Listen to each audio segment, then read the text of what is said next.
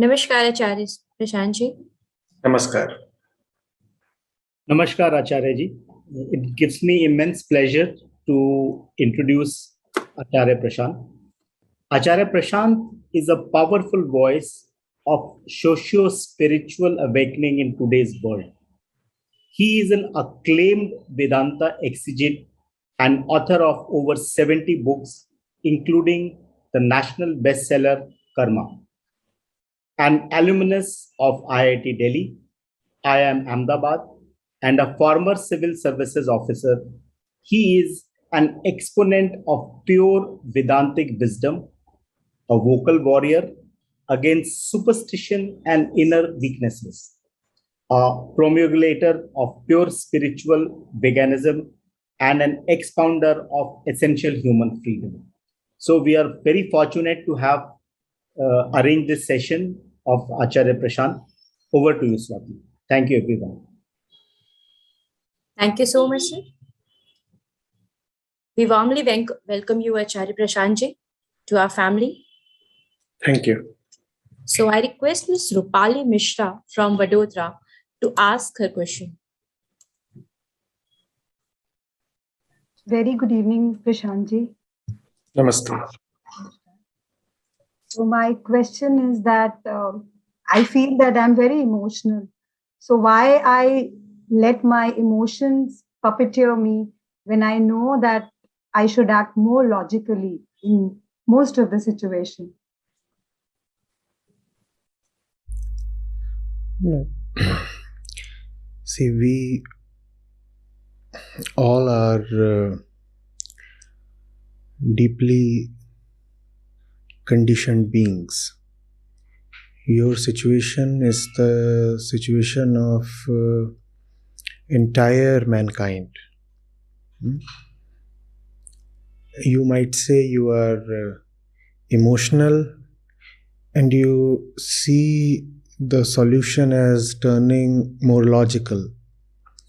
Equally, there might be a fellow who might be seeing a problem in being too logical and uh, rather seeks to activate his uh, emotional side. Hmm? Irrespective of whether you are logical or emotional, you are acting as per the constitution of your body and to some extent the training and education imparted to you by the society family and all those things. So it's not about being emotional versus being logical. Being more logical might help you to an extent, but it is not really the solution to being identified with one's emotions. Hmm?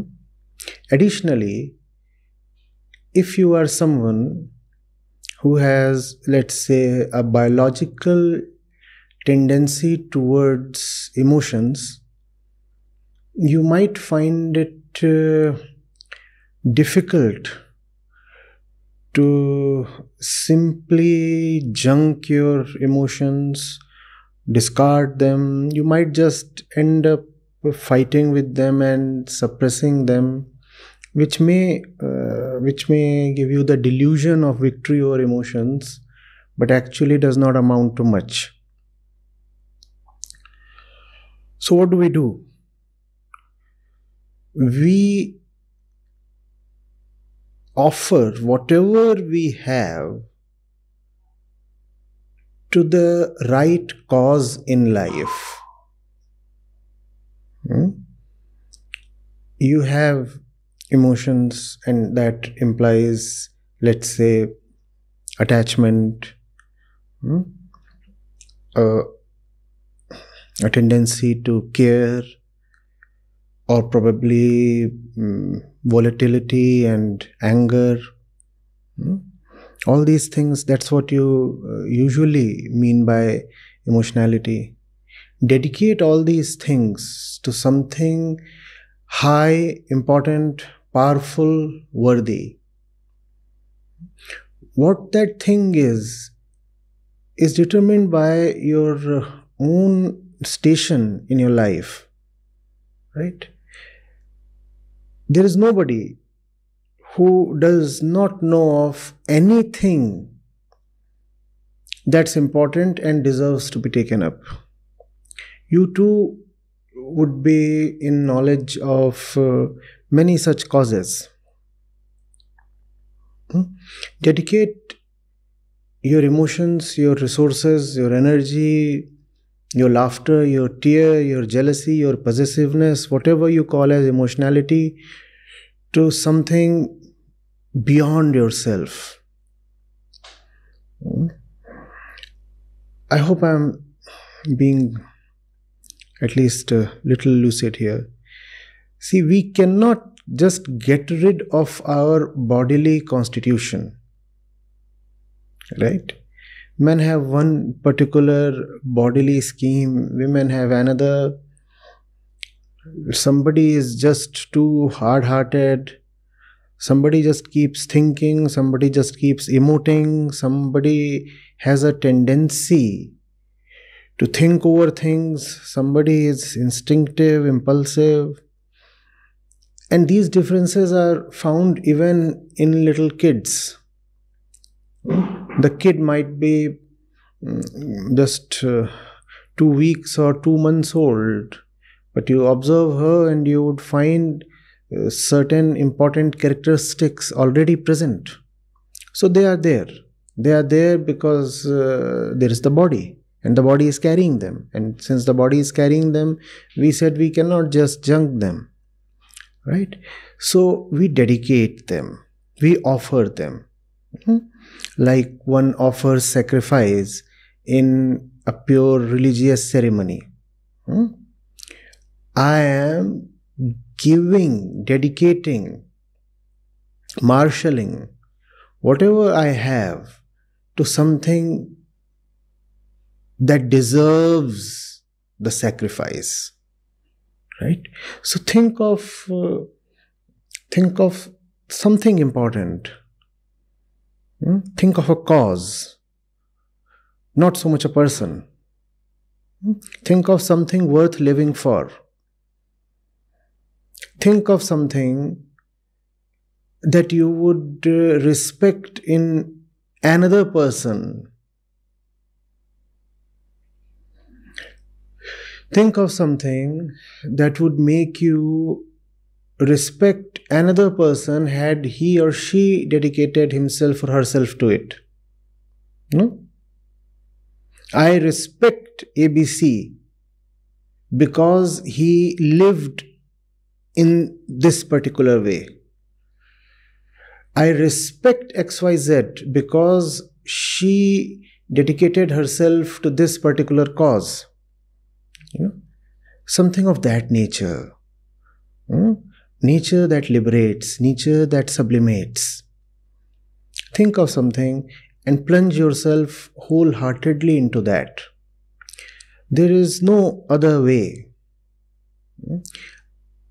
unless your entire constitution your the sum total of all your resources is dedicated to something beyond yourself, something beyond your little self interest, something beyond your little personal world, your likes and dislikes, your pleasures, your hurts. Uh, life will remain a series of petty occurrences, and uh, there is no fun in that, let alone joy. Hmm?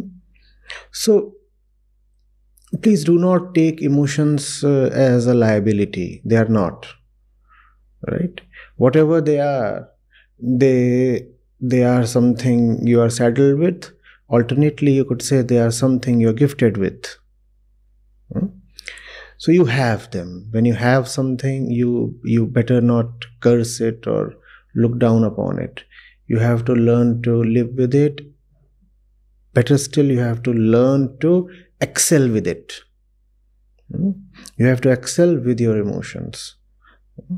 It's just that you don't need to allow your emotions to run uh, berserk. And that happens when emotions do not have any worthy subject to attach themselves to.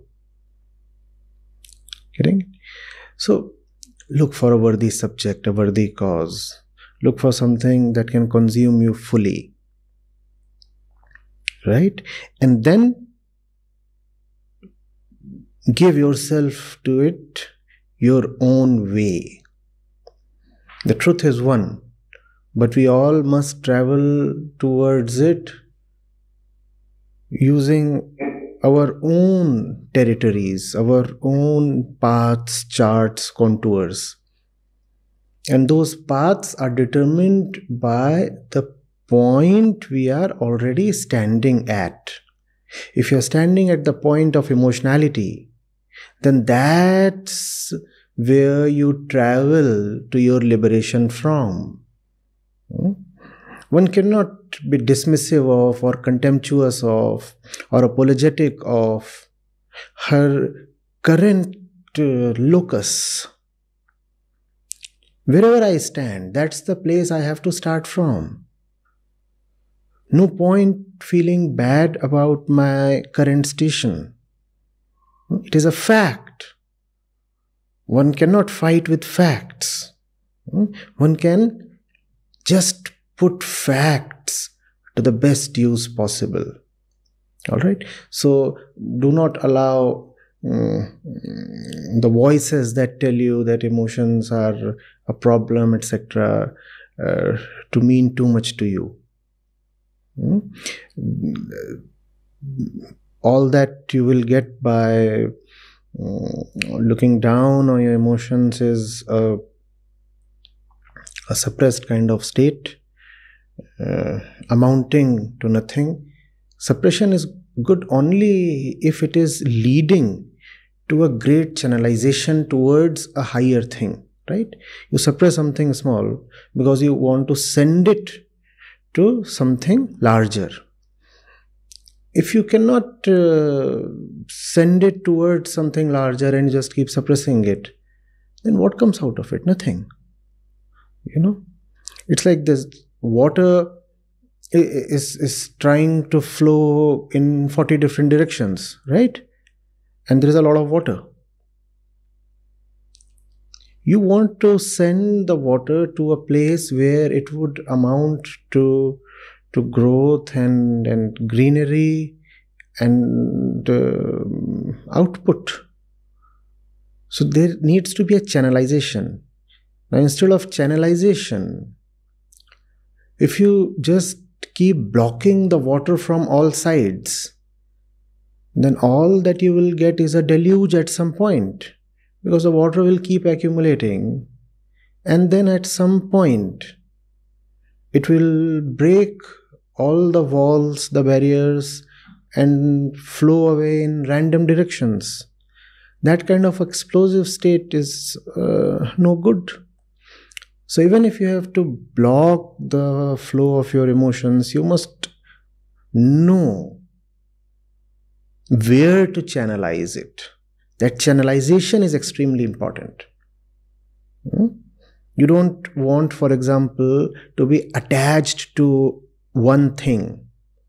Fine, you don't want to be attached to one thing, so you you put that one thing aside because uh, that one thing is not good for you but equally, you must remember that the tendency to be attached will exist for a very, very long time. So, no point being sorry for yourself.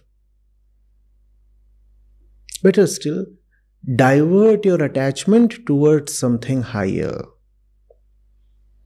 Hmm? And if, if that something, that, that object of attachment is indeed higher, then it would uh, weaken your tendency to be attached.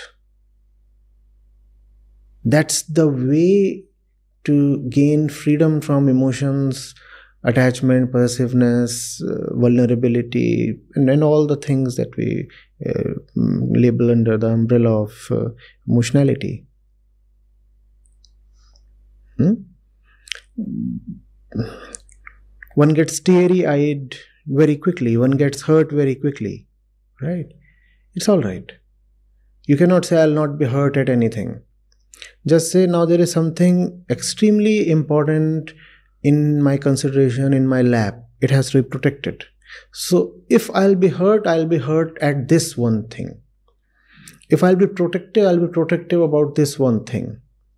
I'll be so concerned about this one thing that there'll be no space to be concerned about other things, to be vulnerable about other things. That protects you from needless vulnerability. Vulnerability will still remain, but in a channelized way. Right? So that's my little advice. Thank you so much.